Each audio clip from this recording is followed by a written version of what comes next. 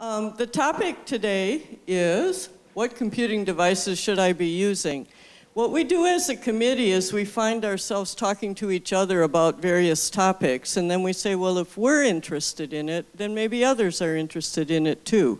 And so this is one of the things that we've been talking about. Do we need to keep our desktop? Should we just have a tablet? What about our phone? Can it do everything for us? So that's uh, what Orv is going to help us figure out today. So uh, what we're going to do is Orv will do his presentation, and then we'll have a series of questions. And he'll have a couple questions for you as well. So here's Orv Jordahl. Thank you, Kathy. Okay, good afternoon, everyone. Nice to see you here. So the short answer to the question is, it depends. uh, there's, there's lots of variables that go into trying to decide uh, what kind of computing device you should be using. What do you want to do with it? What particular software, if any, do you uh, absolutely require to be used? Uh, what's your personal level of technical expertise?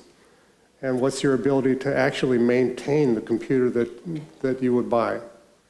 Because uh, maintaining it is critical these days. And we'll get into that more later. And finally, where do you go to get your technical uh, uh, assistance?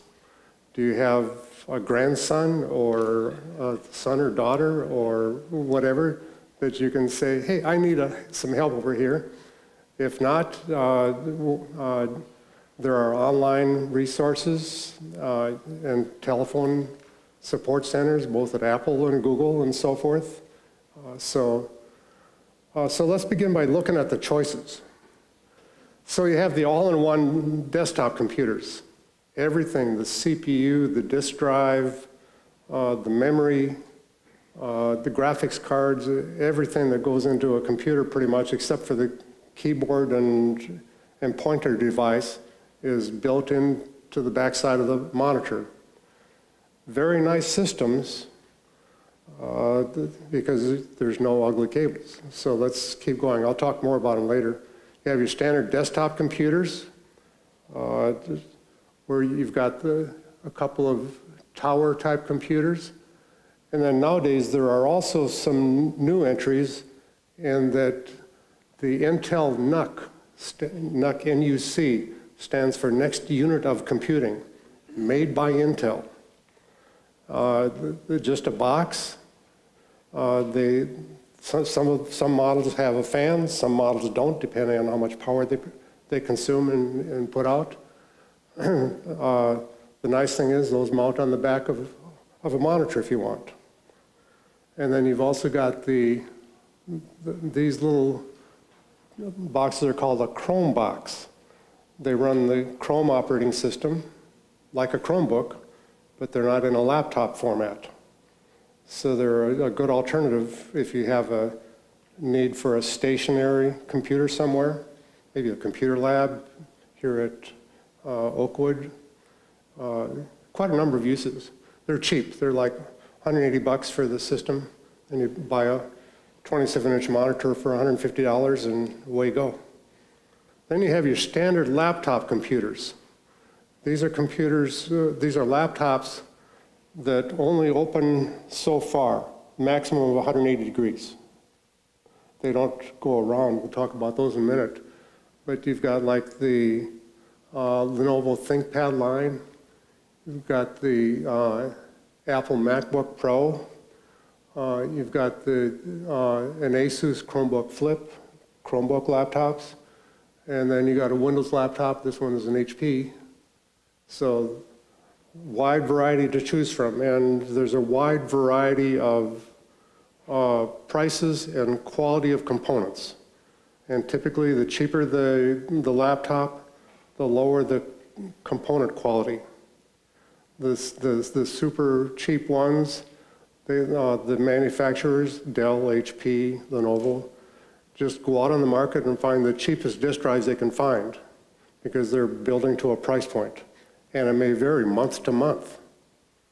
And so that, uh, if you were a business trying to build, uh, equip your enterprise with all the same laptops, you wouldn't choose a low-end product because the, the laptops you purchase, or in fact, any computer you buy month one would be different from what you're buying in month two inside. They look, look the same on the outside, but the insides would be different. And so the, when you pay more for like the Dell Latitudes and the HP Envy machines and the ThinkPad X1 Carbons and so forth, those are guaranteed to be top quality internal components. So it's what's inside that counts. Okay, then a uh, fairly recent entry is two-in-one laptops. These are devices that can function both as a standard laptop and a tablet. And the way they work is uh, when you flip open the thing, you can take it all the way around, turn it into a tablet. And it's a touchscreen, so you can use it purely as a tablet. In these cases, this is a, uh, a, a Chromebook laptop, and uh, it runs almost all the Android applications. So you can basically turn it into an Android tablet as well as a, a Chrome operating system laptop. so that's, that's the difference between a pure laptop and a two-in-one. Two-in-one, the hinges permit you to go all the way around. Uh, and also some devices, such as this one, come with a, a stylus, so you can actually use a pen to write on the screen. Very nice little accessory. Works very well on this one. Is that available with an Apple? No, Apple does not make two-in-ones, and Apple does not make touchscreen laptops. Sorry. Guess they don't want to encroach on the iPad market. then you have your tablet computers. Up here I'm showing uh, the uh, iPad on the left side. Uh, on the middle is a uh, Amazon Fire tablet, and on the right is a uh, Samsung Tab S6, I think it is. Uh, that's the S6 is really a Cadillac uh, uh, tablet. It's phenomenal. Uh, you can get it with a, a keyboard case that uh, actually works pretty well. So I think most of you know what an iPad does, so I won't dwell on it a whole lot. Uh, in the in the Android space, there's there's lots of cheap tablets, but then what you're uh, usually uh, giving up is screen quality, screen brightness, uh, uh, CPU speed, things like that. Once again, if the, if the manufacturers start building for a price, they give up on component quality. And then, of course, smartphones. And I think most of you know what those are good for. Uh, here we have the uh, Samsung Galaxy S10, uh, iPhone 11, and, uh, and Google Pixel 3 XL. so the uh, most common uses are camera. Uh, the smartphones have basically taken over the point-and-shoot camera market. They've killed off the point-and-shoot cameras and driving navigation. I wouldn't be caught on the highway without my Google Nav working. Uh, and other, lots of other apps, just thousands and thousands of them. Okay, let's go into some of the pros and cons. On the all-in-one desktop computers, they're really neat looking, especially with some of the stands you get, nice curved base and things like that. They look really cool. Great for a home office. Cons are that they're hard to repair. If, if something goes wrong inside, you, you're likely not to be able to repair it yourself. You have to take it somewhere no matter what, no matter how simple it is. Uh, there, there's oftentimes less customization opportunity. You may not be able to get exactly the, uh, the internal componentry that you would like to get if, if you go with an all-in-one model. And all the major operating systems are, uh, uh, the- are available in the all-in-one market. You have the standard desktop computers. You've all been there, done that. Very customizable, lots of different options from a variety of vendors, HP, Lenovo, uh, Dell, Asus, Acer, on down the line. They're repairable. Typically, you get better performance on a desktop, both this and the all-in-ones, than a laptop. A laptop, what they typically do is have less capacity of bringing data off the hard drive into the CPU, into memory. It's called the internal bandwidth uh, of the machine.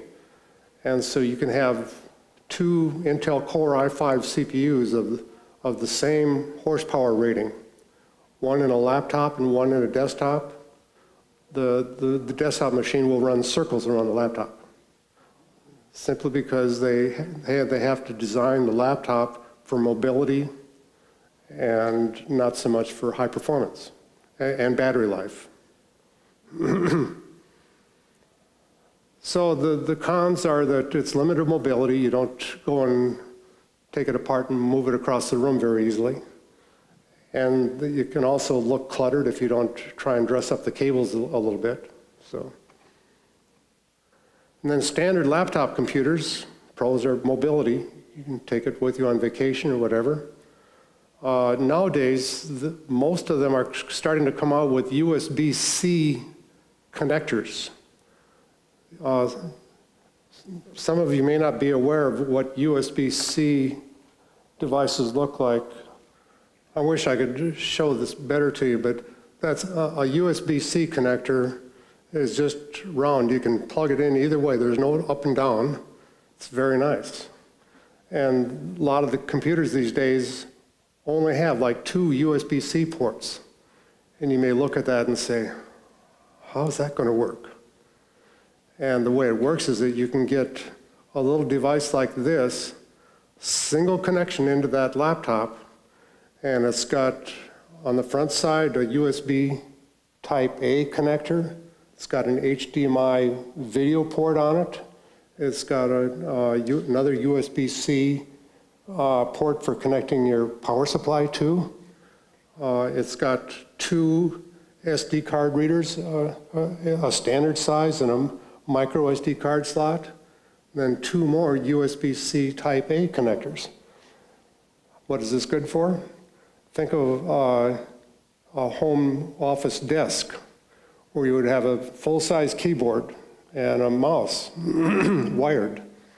Uh, and you- you'd have an HDMI port to go to your 27-inch monitor. Uh, And then you might have an external hard drive you'd want to plug into one of these USB 3 ports on this brick. If you want to go away uh, and take your, your laptop with you, one connector, just unplug, go. Just leave everything plugged in. When you come home, one plug in, boom, everything's there. Works extremely well. So if, if you want to be set up so that you can take, uh, if you have a laptop or a two-in-one and want to go on a vacation trip or across town, whatever, and take your computer with you, very easy to do. When you come back, just one cable to plug in and boom, everything of your home desktop environment is working. And oh, by the way, doing that, you have two screens. You got your laptop screen as well as the 27 inch or whatever size standard monitor you have. So that's what a lot of uh, the expandability has come to in, in the modern laptop and two-in-one computers these days. Just USB-C is so powerful and so versatile that that's the way they achieve even better functionality than we used to have when we had a, a a video port on, right on the laptop and then another port for uh, USB-A and so forth. And so by getting, by going to just two USB-C ports on the computer itself, on the laptop or, or two-in-one, they can make them even thinner. because you don't have to account for the thickness of those connectors.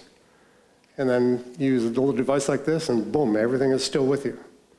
So a device like this is like 30 bucks. So it doesn't break the bank. Okay, moving on, two-in-ones. You get a uh, laptop and tablet functionality. You just open up like a regular laptop, you get keyboard and everything all uh, functional. You can turn it over, you got a full, uh, a big screen tablet. Very nice for watching movies and, or reading a book, you know. Uh, Amazon Kindle app on these things runs fine. And if you're, if you have aging eyes, it's even better because you got a bigger screen than, than a standard Kindle device.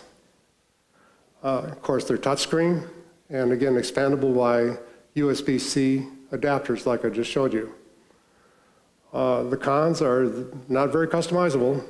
Uh, Any one manufacturer may have two or three models of, of any one uh, design type, probably varying the CPU and amount of RAM in them. Uh, uh, They are more prone to damage because anything that's mobile can be dropped and have some breaks to it.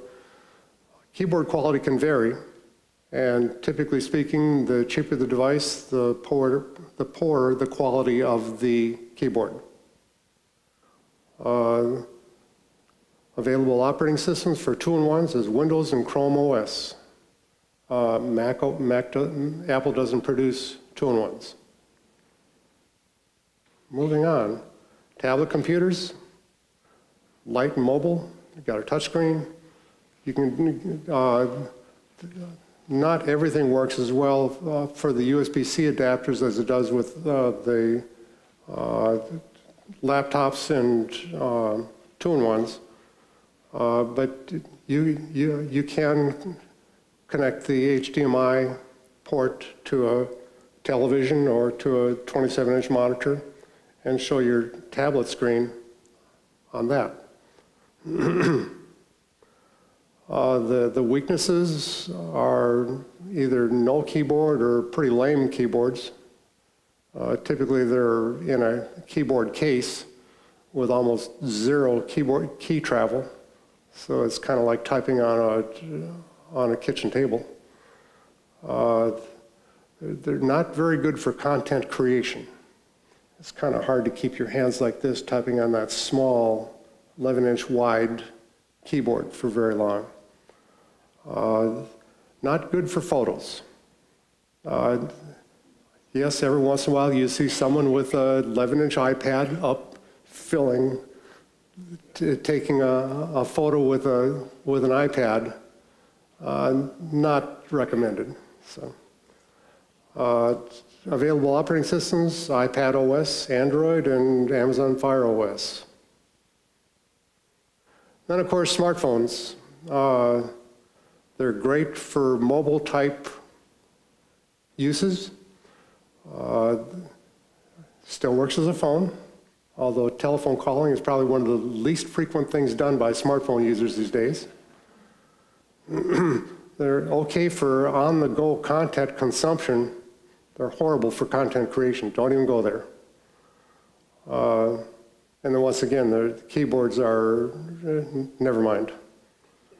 Uh, Available operating systems, iOS and Android. So, so how to choose?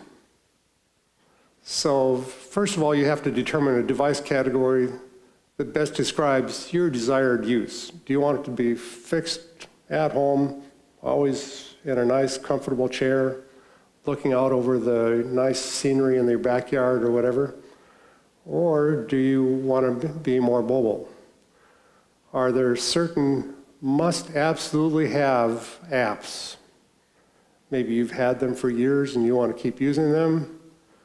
Uh, Problem is that there's a lot of apps that are now going extinct because they have online versions, and the, uh, the software publisher is not maintaining the app anymore. So much stuff is going online. Uh, Since the advent of the the HTML5 standard, where you can do basically everything through a web browser that you could do with a standard installed app on a, on a computer. Uh, lots of people have been going that route because don't, you don't have to update it. You just keep your website updated and everybody in the world is up to date. Uh, another uh, decision point is somewhere, some apps only work on one operating system. So that may drive your, uh, your decision as to what type of device you would want to use. Then you also need to honestly analyze what kind of computer user you are. Are you uh, uh, the type of person that religiously applies system updates within a week or two after the, uh, they're published? Or do you make a computer purchase much like you're buying a toaster oven? In other words, it sits in the corner, and when you want it, you fire it up and use it, and then you shut it down, or maybe you don't shut it down, maybe you sit, let it sit there and just run forever, uh, but you never update it. Uh, I would submit that you are the uh, a threat to every other computer user in the world. Be because those devices will get hacked, they will be found, and that computer will become a, a member of a botnet. A botnet is a uh, collection of computers that some nefarious organization has made some malware that goes out and finds these unpatched computers and then breaks into them uh, and plants code in them to do whatever that hosting organization wants to do. Common uses are uh, to do crypto mining, it's called, where they run algorithms to generate Bitcoin. It's becoming harder and harder and harder to do but if you've got millions upon millions of computers doing that, you can make some pretty decent cash. So, the, and they're harvesting, they're stealing your electricity and the use of your computer, oftentimes without you ever knowing. And your computer just sitting there in the background. And they, they're, they're very good at hiding what they're doing. A lot of uh, uh, anti-malware products can't even detect them and so forth. Okay, I, I hit my punchline too early. Okay, here we go. So how many of you are actively looking or considering use of Windows computers?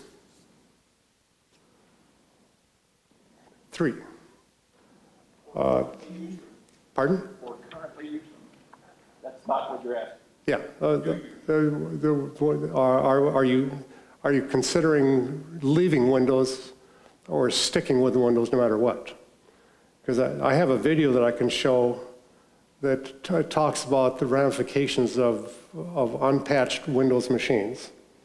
We should see that. Okay. Here we go. By the way, uh, this gentleman is, is, Steve Gibson, a um, uh, nationally renowned computer security expert who uh, uh, hosts a podcast every week that I listen to religiously. He's a great guy, extremely intelligent uh, on all things computer related. So here goes. So, more than two years ago, yes. after the event which briefly rocked the world, and in which Mark, Marcus Hutchins inadvertently but fortuitously stalled the, this groundbreaking worm or earth shaking worm Sophos recently took a look at the state of the WannaCry worm today. Uh, we'd like to say that it's gone but not forgotten, but we can't because it turns out it's not gone. Okay, so what happened? As we know, on May 12th of 2017, organizations across the world were attacked by what was then a new and unknown very rapidly spreading piece of malware, which we now know as WannaCry. It's now considered one of the most widespread and notoriously destructive malware attacks in history, which was halted only when, out of research curiosity, Marcus registered a domain name that he found embedded in the malware, which unexpectedly and happily acted as its kill switch. But the kill switch didn't completely kill it. And today, more than two years later, WannaCry continues to adversely affect thousands of computers worldwide, although it doesn't get any press attention, and we'll explain why. Um, in fact, it's joined the legions of worms. We know their names Code Red, Nimda, MS Blast, which continue to contribute to constant internet packet noise, for which I long ago ter- coined the term internet background radiation. You know, it's just like if you put a, a system on the net, packets start coming in that you didn't ask for. It's just background radiation. It's these things that will never die that are still running on servers in obscure places. Uh, and then those machine, the machines haven't rebooted, or the, the, the worms are written to uh, permanent storage and they arrange to restart after a reboot, whatever. But on that fateful day in May 2017, WannaCry stormed across the world. It was, as we know, made extremely prolific by its use of the Eternal Blue vulnerability and exploit, which was believed to have been stolen from the US NSA, the National Security Agency, by a group of hackers calling themselves the Shadow Brokers. And WannaCry provided another vivid example of the other thing we're often talking about, the so called patch gap, which continues to exist today since the Windows flaw, which was exploited by Eternal Blue, had already been found, fixed, and patched in March of 2017's Patch Tuesday, a little more than two months before WannaCry's trans internet rampage.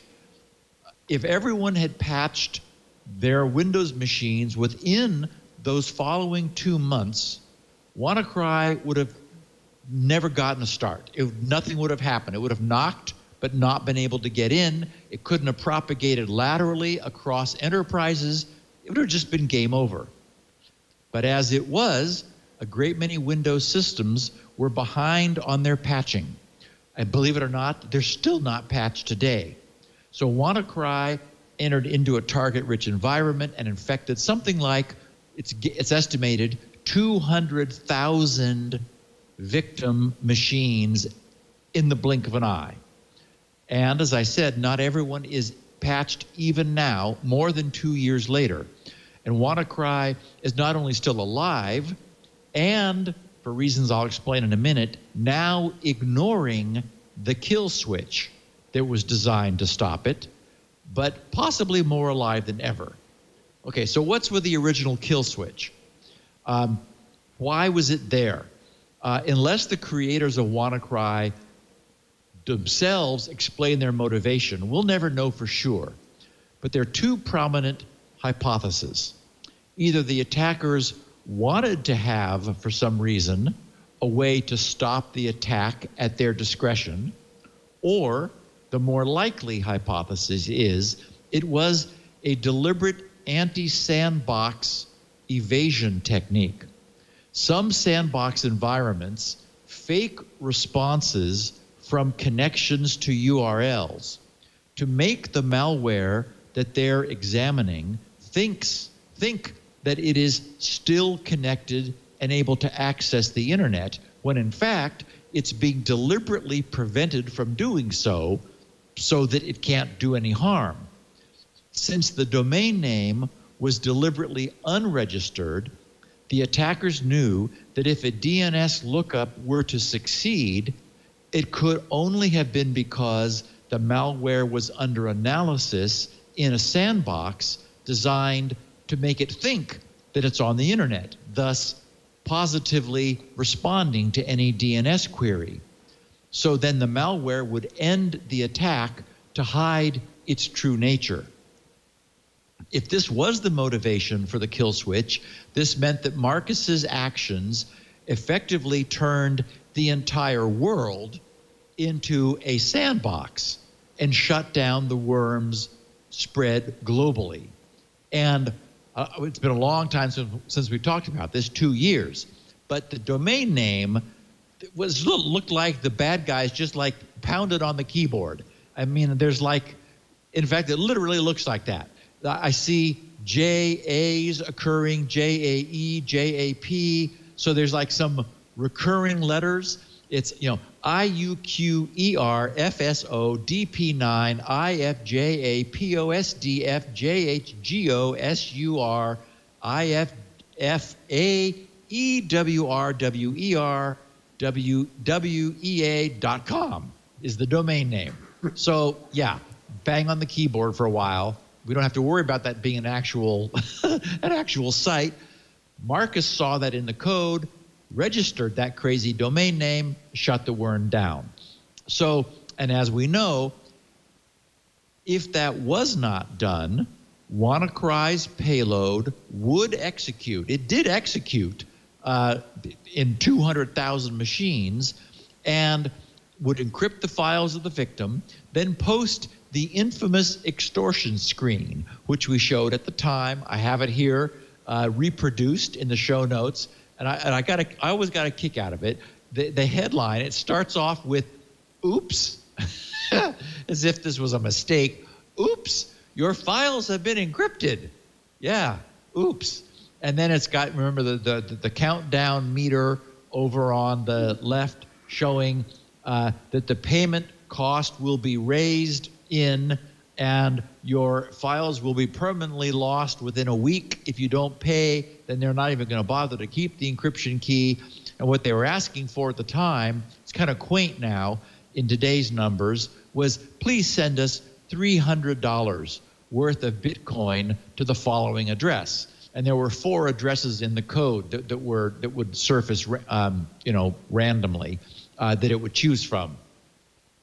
Anyway so back then the ransom was $300 to recover your files, presumably on a personal machine. Of course, now we know that 1.6 million was recently asked for the decryption of a, a, of a sizable network.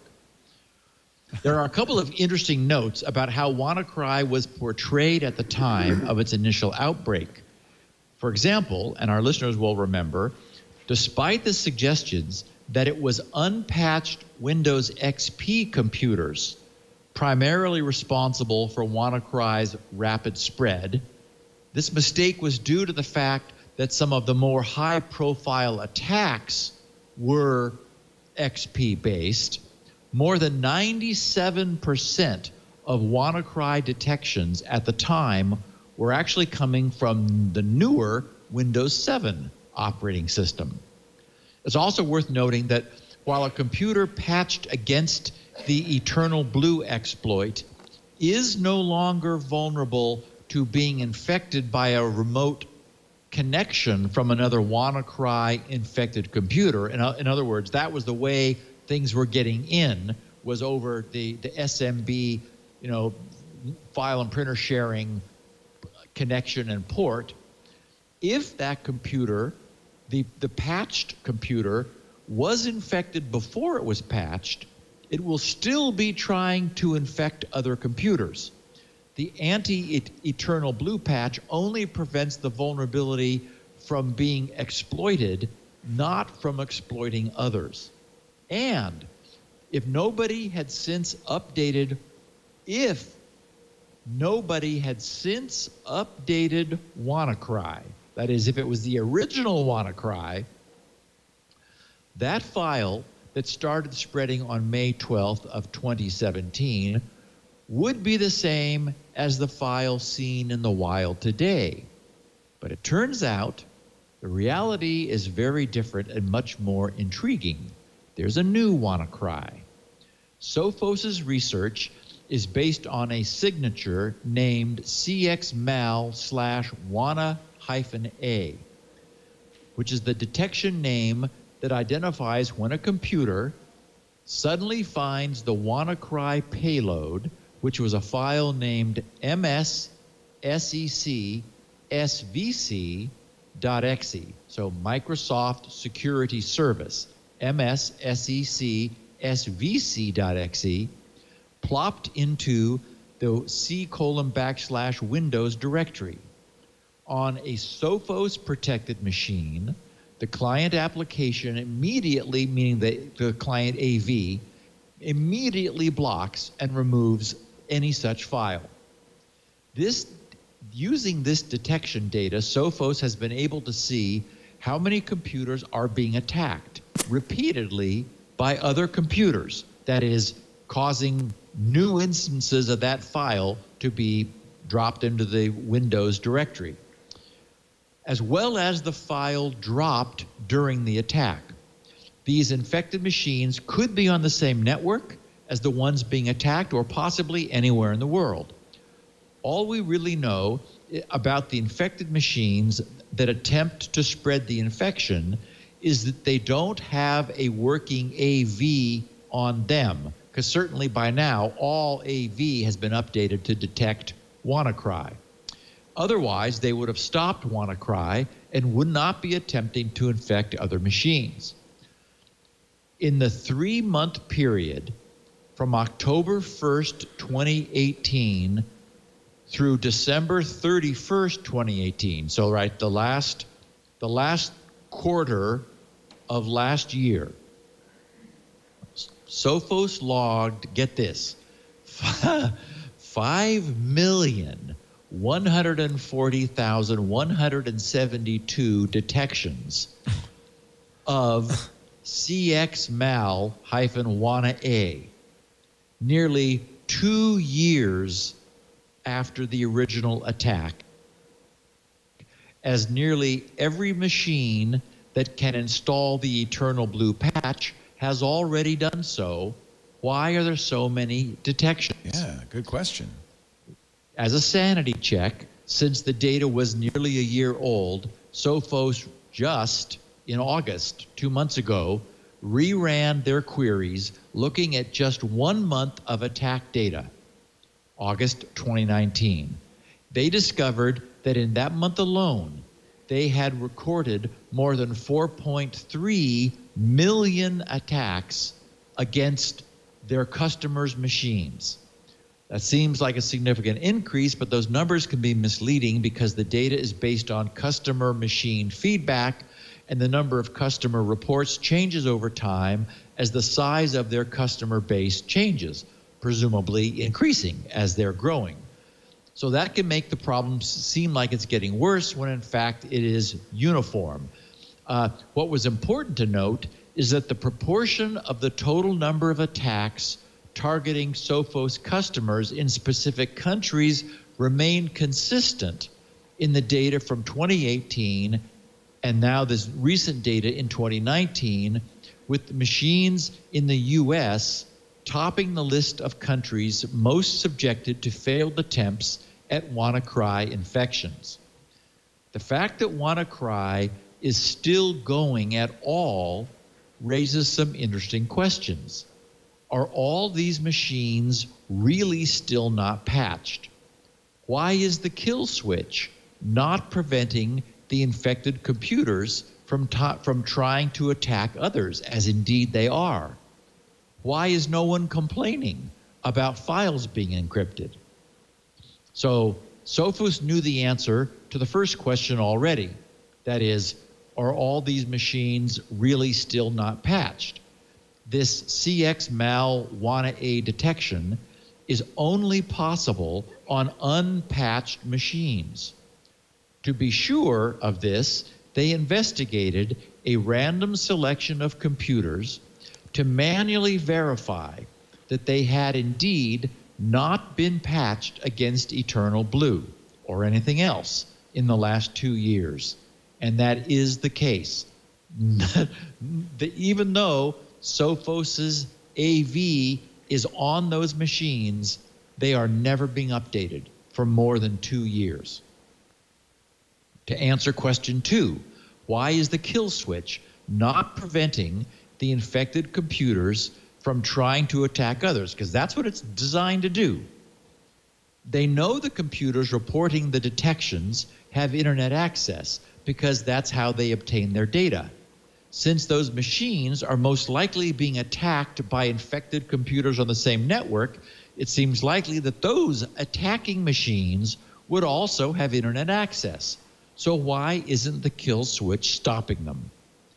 Analyzing th- those 5.1 million detections over last year's three month period from October 1st through December 31st, they discovered something unexpected. The malicious file being dropped on these computers was not the original WannaCry MSSEC file. In fact, among the 5.1 million detections, they identified 12,481 unique files. But, but you, you get the idea that it's, uh, the whole thing is caused by people not maintaining their computers.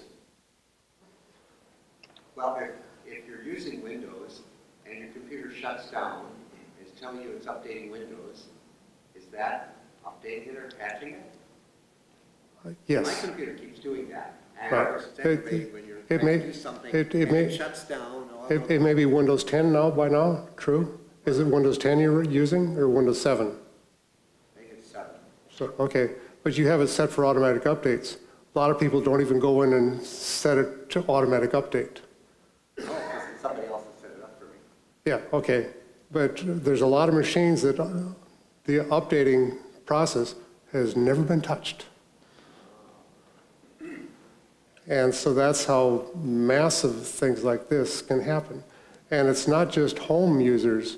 I mean, just in the last month, there have been, I think, what I hear, 14 school districts in Texas that were hit with ransomware. Uh, and three hospital uh, systems. Uh, uh, One hospital system may have three, four, or five hospitals. City of Baltimore. Yeah.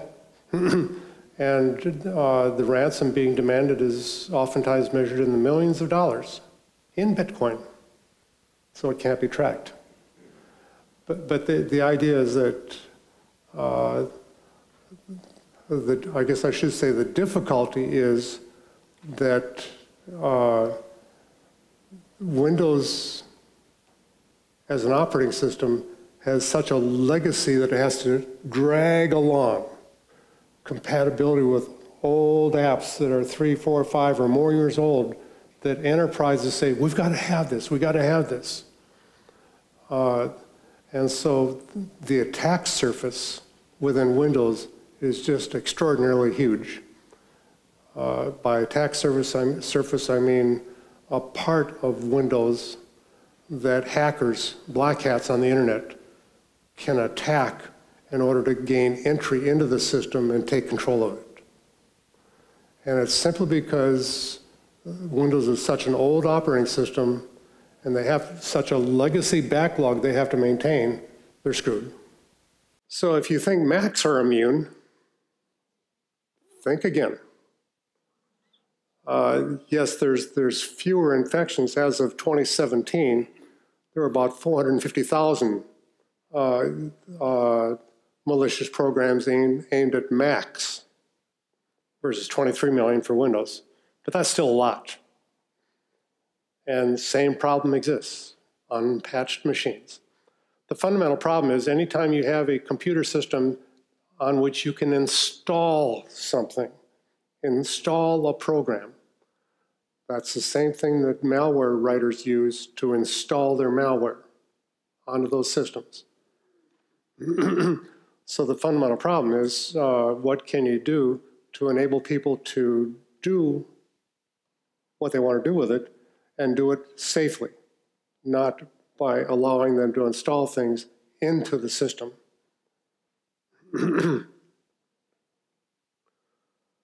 so then the obvious choice boils down to Chrome OS, an operating system built by Google uh, from scratch to be fundamentally unhackable. It started out in, I think 2010 was when it started. And, and it used to be panned, saying that the only thing it was good for is if you were online all the time. Uh, And that has been changed, so now you can do a lot of stuff offline. But more importantly, even with whatever computers you're using nowadays, how many times do you actually use your computer when you're not online? Checking email, uh, looking at the web, doing something? More than likely, you're online somehow. So the, uh, Google's uh, foresight in architecting Chrome OS this way proved to be a huge advantage. They also made it so that it's automatic updates. They download in the background. All you as a user see is a, a little uh, notification uh, in the lower right corner of the system tray saying, please restart to update. That's the sum total of the user interaction with updating. Uh, and it works very well. Uh, there's no chance that Chromebooks can become part of a botnet because software can't be installed the way it can on Windows and Macs. Uh, and so you won't have to pay ransomware either, like uh, like he was talking about with WannaCry. Makes you wanna cry when you see the, the bill for the ransomware. Okay. Questions? We have um, mics on both sides. Kathy and Ann have kindly agreed to be microphone runners for us. And I'll do my best to answer questions. Don't uh, guarantee I have all the answers, but I'll give it my best shot. So my question was, I'm not familiar with the Chrome OS operating system, Uh-huh. or the Chrome operating system. I, Yeah. I've used Windows and I've used Mac. How, what's Chrome like? Is it easy to learn? Yes. Uh, In fact, there's not even a- a user manual per se on it. There's, there's tutorial videos on YouTube about it. It's, it's similar to, uh, uh, to Windows. I mean, you have a desktop. Obviously, you have Chrome web browser, just Chrome. Uh, uh, You have a taskbar down here to, to launch apps, very similar to, to Mac and Windows. You have a file, uh, a Files app like Windows Explorer and, and the Finder app where you can navigate your files uh, and copy and paste them. It's got access to Google Drive built right in, so you can expand your Google Drive where you might want to store stuff uh, offline from your computer. So if your computer is lost or becomes inoperable, you're not out your files. So, uh, and then here is the, uh, the navigation, uh, I'm sorry, the, the notification panel here. Rain possible at 4:45, okay, we got to be out of here by then. Uh, And then you have uh, the launcher icon on the far right, or far left over here. And if it's not in the quick thing, you can expand it up and see all the different apps uh, that are available on this Chromebook. Uh, If, if you want to add something to it, you simply go to the Chrome Web Store. Uh, So I'm just going to do search.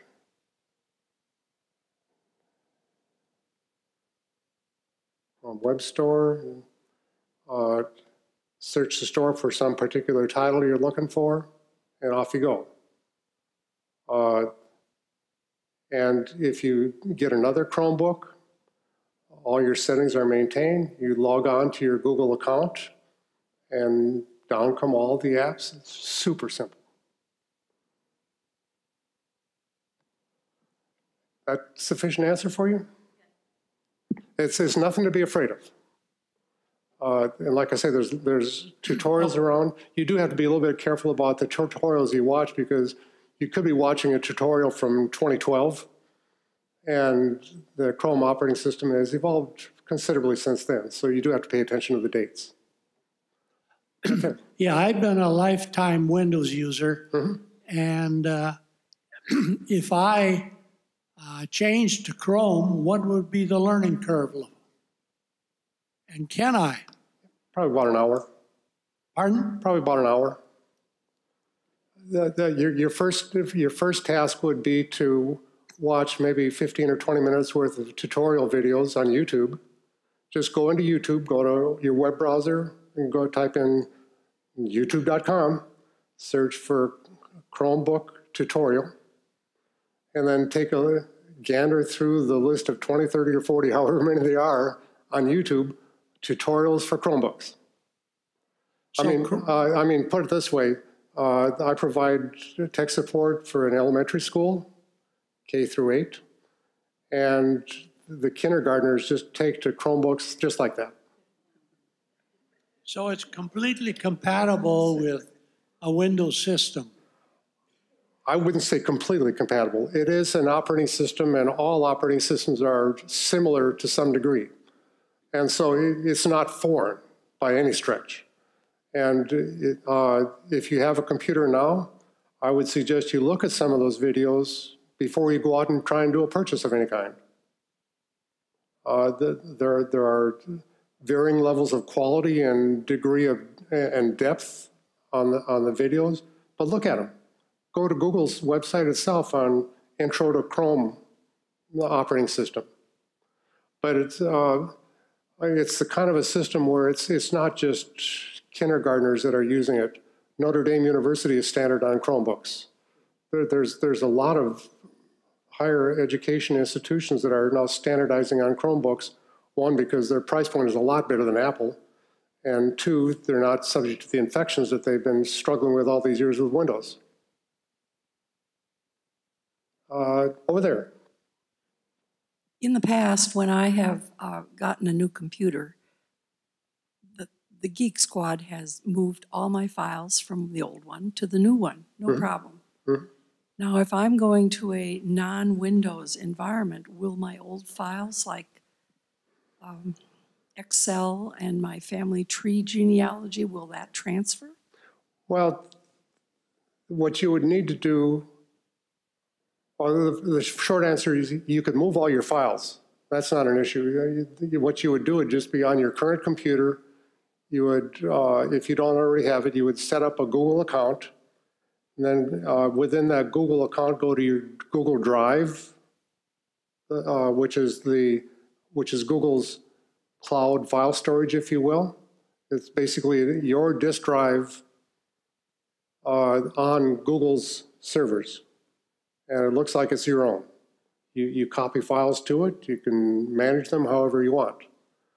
So, uh, and yes, you can open uh, Excel, Word, PowerPoint files, uh, either uh, by using the Google Docs apps, which are free, or you can uh, subscribe to Microsoft Office 365, uh, which costs you like, I think, $7 a month or so, and have the full Word, Excel, PowerPoint, uh, uh, either through a web browser, or you can install the, the uh, Office mobile apps, which are uh, Word, Excel, and PowerPoint for iOS and Android.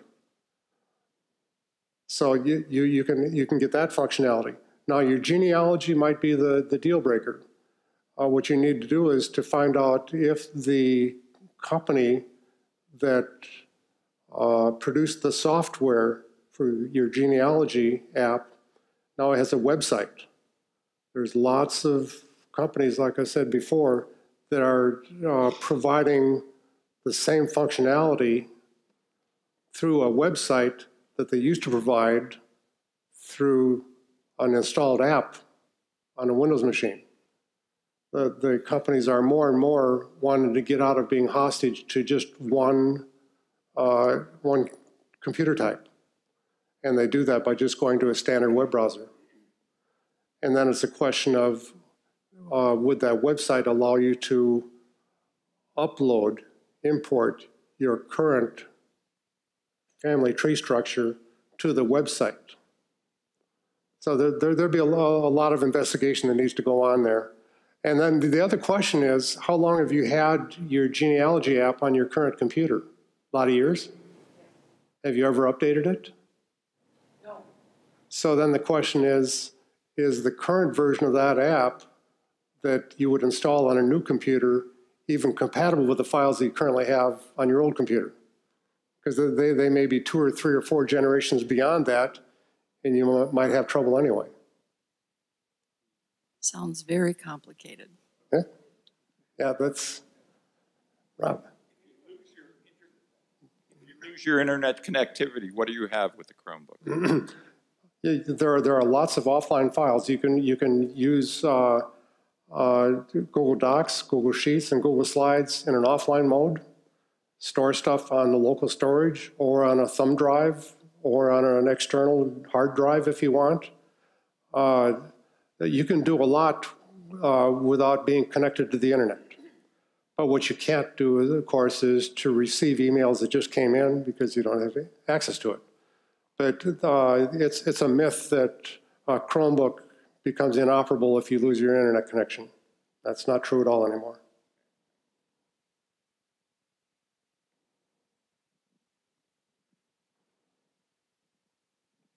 Two questions. As I understand it, if you use Google, your whole, every, every move you make, Google makes a record of. So they have your whole life. Well, that's, that, you're talking about the smartphone business. You're not, there, you're not talking about their Chrome OS stuff. They're not tracking Chrome OS. A, A, there's, there's no, there, there is no GPS receiver in Chrome, Chromebooks and Chromeboxes. I didn't mean physical move, every move you make on your computer. So in, if you have a Gmail account, then they will trace everything you do on the web. Yes, and, and that, that is if you uh, don't enable the do not track feature of the Chrome web browser. So that there's a way you can turn that off. And if you don't like that, you can install Firefox on a Chromebox, a Chromebook, and use Firefox, which does not track you. And then there's, there's the Brave browser, there's a Momentum browser. There's lots of options that don't involve a Google crafted browser. So if you're suspicious about Google, uh, that's what you can do. Now, that said, uh, I watched a rather humorous uh, interview with a, with a guy that uh, said, I don't trust Google. I'm going to unplug from Google. Took him six months to do it, and when he finally achieved it, he said, This is not worth it. My life is so screwed up from not having Google Maps, Google Calendar, Gmail, everything else, he finally concluded, I'll let Google have it. They haven't been hacked and they're working very hard not to get hacked. And odds of them getting anything of value from me are somewhere between nil and none. So being afraid of Google, turns out, is not all that critical. Okay, separate question, does the Chromebook require you get that computer, or can you use an Apple computer? No. A- Apple computers will only run Mac OS. You cannot install anything else on, a, on, a, on an Apple product. They, they have you hostage. Now, the other question is can you install Chrome OS on a computer built for Windows? Uh, the short answer is no. Long answer is yes, if you're very persistent and very smart. Don't think I qualify. Uh, You're far better, I mean, if, if, uh, if uh, budget is a- is a constraint, you, you can buy a, a pretty nice Chromebook for 250 bucks. Uh, And you can buy a Chrome box, if you have a monitor at home, you can buy a Chrome box for 180 bucks, give or take. That's the desktop version. So we're not talking high-cost computing here, which is why a lot of schools are going to it. Uh, And, and schools are especially attracted to it, not because so much of the devices, but because of the back-end management tools that Google has provided to schools and universities to manage entire fleets of devices. And uh, the, the, the little school that I provide support to has like 200 devices. And I would say I spend, I spend maybe one hour a month supporting it. It's tremendous. So the, it's not just the devices themselves, but it's the back office support where Google is just making it a hands down winner, far superior to anything that Apple and Microsoft have done in the education market. Uh, right over here. Oh, uh, we got competing. Go ahead. Oh, okay. Yeah, Tag, you're it. I, so my quick question is, so if, you- if it can't be hacked, we don't have to worry about having any kind of a Norton antivirus or McAfee or anything like that installed on it as well? Correct. Okay, thank you. The, and, the, the, and the reason is that, number one, uh, the, the malware can't uh, gain a foothold on the machine. And in the event it did, uh, if, the, if the boot image of Chrome OS, the, that part of the system that, that first comes into action when you turn on, when you open up the Chromebook and it starts up, if that part of the code has been altered in any way, it alerts you saying, you're corrupt, reinstall the system. And reinstalling the system is, uh, is actually pretty easy to do. There's lots of tutorials online how to do it, but uh, it's not the disaster it is with Windows and Mac. Over here. Thanks. There's something wrong with the picture in my mind. If the generation and deployment of malware is illegal, why are we chasing ourselves around trying to develop ways to prevent it when somebody could be doing something about the source of the problem? The source of the problem is usually over in Ukraine or, uh, or Iran or places over which the U.S. has no control. And since the internet is worldwide, uh, there are no constraints on it. All we can do as citizens is to have a very good firewall router at our perimeter, our connection to the internet, and, uh, and use a, uh, a quality DNS uh, like Quad 9 uh, uh, to provide uh, the translation service between web addresses and the IP addresses. Uh, that process uh, can be used to actually block access to websites that are hosting malware. And that's what Quad 9 does. Uh, and I think Cloudflare is starting to do that too. Quad 9 is 9.9.9.9. Google's DNS servers, sorry for the techie talk here, but uh, Google servers are 8.8.8.8 and 4.4.4.4. Uh, and Quad 9 is four nines. And it's, it's sponsored by IBM and two other organizations. Uh, they, they support it out of their own generosity. They aren't charging for it, but they do a very good job of blocking access to sites that are hosting malware. But a lot of people don't know that. A lot of people just use their ISP DNS, and with that, you're toast. Mhm. Uh, right here. So well, I have a final question on cost. You said the Mhm. cost of a um, uh, Chromebook is about less than 500. How about a two-in-one? Uh, Well, the, the cost in general varies from anywhere from, I'd say, uh, $180. If you go refurb, you can do 150 on up to $1,200, $1,500. Like if you go with, uh, uh, if you were to buy a uh, Google Pixelbook, it's called, which is a very high-end Chromebook with uh, top-notch screen, high-speed Intel CPU, uh, 16 gig of RAM, one terabyte hard drive, a keyboard that's, that's a dream to type on, uh, that's going to cost you anywhere from a thousand to dollars up. But you can buy like uh, this device right here. This is my daily driver. Uh, it's a it's a two-in-one uh, uh, Chromebook that's it's got an Intel CPU in it.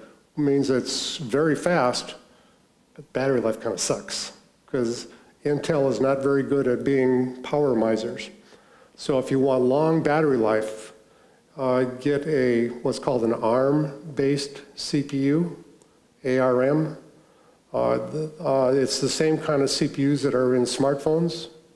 You may have, you may have seen advertisements for smartphones that have the, um, what are them? Qualcomm 835 CPU or 845 or 855 CPUs. Those provide a lot of power, but they really are efficient on battery consumption. So if you need long life, you want to go with a non-Intel one. For me, I was, I was okay with having like five, six hours of battery life in this device. Uh, but, but also, this has a pretty hefty battery, so consequently it weighs a lot. Uh, this Samsung uh, uh, Chromebook Plus, great device. A little smaller screen, still a, a, a two-in-one. Uh, this goes for about $450. Uh, and it's much lighter. It's, uh, and uh, the, the only downside that I, find with this device and is that I got big paws and typing on this keyboard that's even this size is not my cup of tea. And the, the biggest nag for me is the backspace key up here is small. I'm used to having a backspace key that's got some size to it because I hit it a lot. and uh, the Acer uh, Chromebook Spin that I, that I have has a, has a real backspace key. This doesn't. This takes some getting used to. If you have smaller hands, smaller fingers, this might be a perfect device for you. Uh, the the uh, uh, Acer Chromebook Spin uh, 13 is about $715, I think. This is about 450 But these will last you a long time. Because uh, uh, the, the thing to remember is that uh, once you get them outside of the externals and the, the physical componentry, when you fire it up, every Chromebook looks like every other Chromebook. Google is really good at maintaining the consistency across the entire line. Google, unlike Android, where uh, every manufacturer can kind of roll their own as far as Android is concerned, not so with Chrome OS devices. They're all alike. So if you've seen one and learned one, you're going to be able to run any Chrome OS device you want to. Uh, question, uh, going back to the question about do you need malware um, Correct. to, um, i- on the Chromebook? Mhm. But if you switch, if, if you're using a telephone or a cell phone for, as a smartphone, and you move programs back and forth or files back and forth, you still need to have it for your phone. Would that be right? No. No? Uh, Nowadays, uh, Google does not recommend running third-party anti-malware at all. They have the- the Google Play Protect, they have uh, services running inside every Android phone that are always on the lookout for stuff. And it's the, the third-party anti-malware companies that try to spook you into thinking you need to buy their products to install on your Android phone. Wrong. You don't need to. Uh, uh, uh, the, the experts uh, that, that I listen to are unanimous in that, uh, in that position, that the third-party stuff just provides an even larger attack surface by which malware can worm into your system. Okay, thank you. hmm And, and Apple phones are basically the same way. Uh, Apple doesn't provide the hooks to third-party uh, anti-malware authors to even install on, on iPhones, on iOS systems. Other questions? I'll ask one since I have the mic in my hand. We have certain privileges. I want to follow up on Ruben's question at the beginning. Many of us have lots of Word files. If we were to transfer those somehow to a Chromebook, is that a big hassle? No. you, you would, uh, on your existing Windows machine, you would open up your web browser, pointer to drive.google.com, log into your Google account, and just start dragging files from your, the Windows uh, Explorer window into the, the uh, browser window for Google Drive, and files will start uploading. That's all it takes. And the fact that they're in Word format is not an impediment, is that right? No. Well, uh, like for example, you can do one or two things. Let me sh- see if I can find an example here. May not be able to on this particular. Maybe while Orv is looking, I can say, I do not have a Chromebook, but I've given up my um, Word application, and I'm now using Docs under Google for all of my word processing. So all of my Word files are readable by Docs. And when I'm finished, if I'm sending it to somebody that has Word, I just download it as a Word doc and it goes to them as a Word doc. If they're already using Docs as well, I just share it and I don't actually have to send them a copy. So it's entirely possible to do, to not use the Word application anymore. I'm doing it on a Mac, but Yeah, so right here, that line right there, you see that I highlighted, is a docx file. And if I do a two-finger tap, uh, that's equivalent to a right mouse click. Because anytime you're dealing with a touchpad, you, you don't have a left mouse and a right mouse. So uh, a one-finger tap is a left mouse click, and a two-finger tap is a right mouse click. So let's see.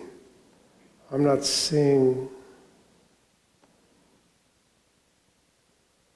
Okay, so what I'm going to do, I'm just going to copy this locally here. So I'm going to do a copy and go to my downloads folder and paste. And now if I do a two-finger tap, I can do open with, and I can open up with Microsoft Word. this is the mobile version of Microsoft Word. But to use this, I do have to have an Office 365 account, which costs $7 a month. So that's why most people, after they take a look at Google Docs, Google Sheets, and Google Slides, say, screw Microsoft. I, what Google's got for free covers my needs. Uh, I would say, if I had to put a number on it, I would say that uh, Google Docs is what, about 90% of full Microsoft Word, give or take? I haven't run into anything that I'm missing yet.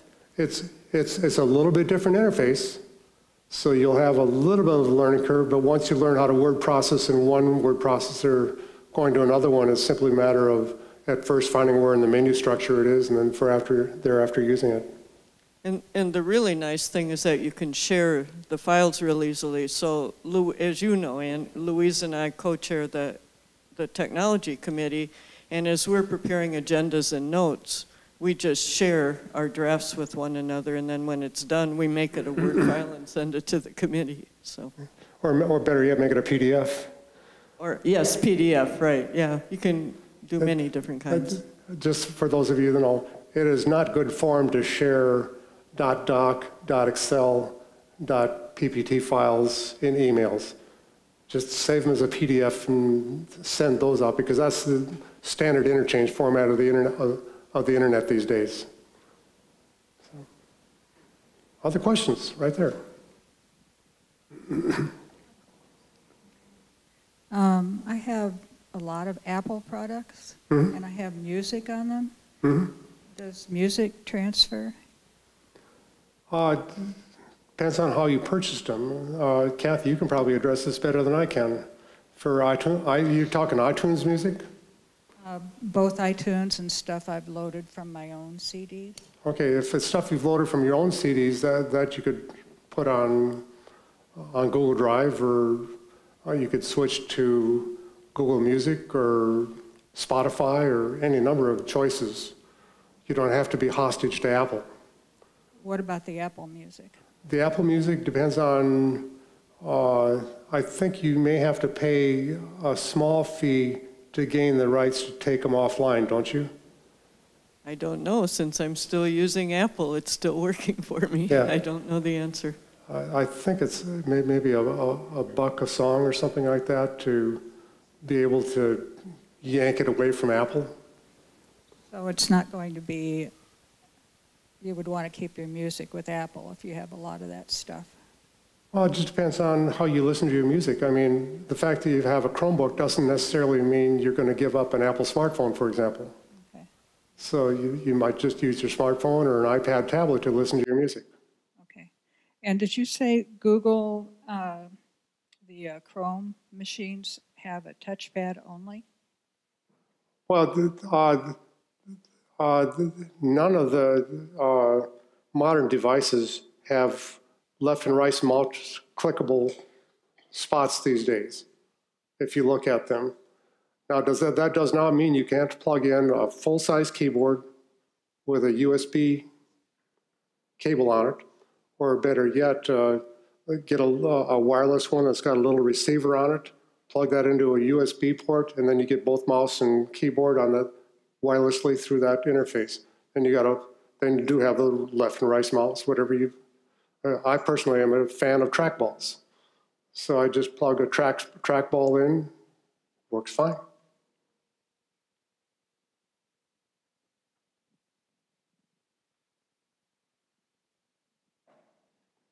Sure. So I, I have been happy for years using DoIT for various pieces of information. Mhm.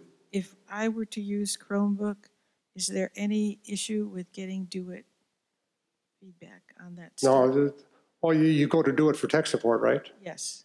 Uh, I'm sure that they would provide support for, t- for Chromebooks because Chromebooks have been gaining so much in popularity. They have to support them. Okay, thank And, and the beauty is that it doesn't matter which company makes them. Uh, oftentimes you have to, uh, with Windows machines, you have to worry about, is it a Dell machine or an HP machine or a Lenovo machine? Because that impacts how things are done relative to how the hard drive is installed or how the memory is installed or all that sort of stuff. Not so much with Chromebooks.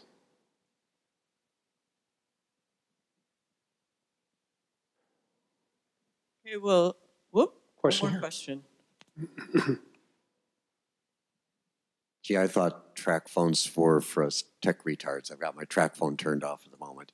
Um, you said something about plugging your track phone in and. No, uh, trackball. That- that- That's a, that's a kind of pointing device that's a mouse turned upside down. Oh, okay. Well, since we're on TracFone, what, my, my TracFone asks me in text, it says something about, uh, would you like to, uh, text on web or something? I have no idea what they're talking about. Text on web? Yeah, it says somehow- somehow like you're texting on a computer. Yeah, right. Uh, I thought you were Well, what- text on a cell phone. But what that is, is um, uh, using Wi-Fi instead of a cellular connection for texting. And the way that works is uh, like this, this icon right here. Uh, If I, now if I open up my smartphone, go to Google Messages on my smartphone, which you can't see, but I, I go to the, the uh, options menu and say messages for web and read the barcode, suddenly all, all my text messages are available and I, I can do text messages right from here. If I need to copy and paste from an email or something, boom, it's right there. So that's where messages for web, Google Messages for Web is. And uh, Google is in the process of, of a new um, uh, feature set for text messaging called Rich Communication Services.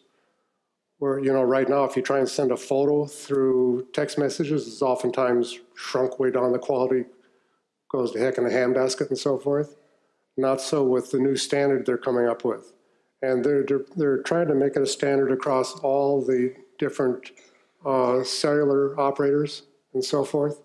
So it's called RCS. Eventually it'll get here, but a lot of the uh, cellular services, Verizon, AT&T and so forth, are so invested in their, their own text messaging service, it's going to take a while. But if TracFone is uh, asking about messages for web, my guess is that that's probably what it's talking about. So then you have to find that standard logo you can see on your cell phone on a computer. While you install uh, uh, uh, messages for web, uh, you go to the Chrome Web Store and install the Messages app. Uh, let me let me show you. So I'm going to go to the launcher. Now, the launcher's only on Chromebook. Right. And that's what we're talking about right now. We're dealing on a Chromebook. So, uh, and now we're going to go to messages.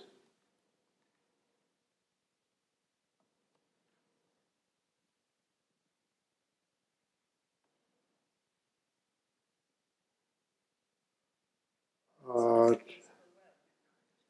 I'm going to, It's- as, it's- as it's this several one right here. people are, are leaving, I just want to thank people for coming and thank Orv for giving us the useful information today. And Orv, will you stay a few more minutes? Sure. Maybe finish this answer and then any other questions that people would like to ask. So thanks again. Thanks for coming.